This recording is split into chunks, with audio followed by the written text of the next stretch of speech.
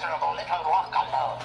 But if I win, I will turn your entire globe into a concrete parking lot and make you my minions.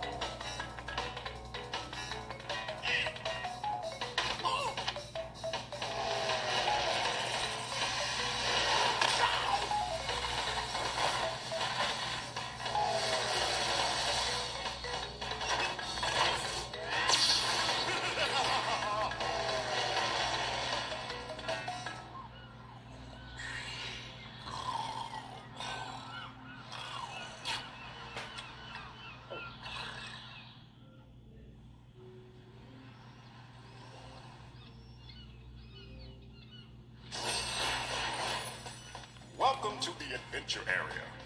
You can travel around this area and practice your driving skills. The dots and stars on the map represent warp pads which lead to races. When they flash, it signifies they are open to play. To access a racetrack, drive into a warp pad that has an active warp vortex, and it will take you to the track's starting line. Finish the track in first place to win a trophy.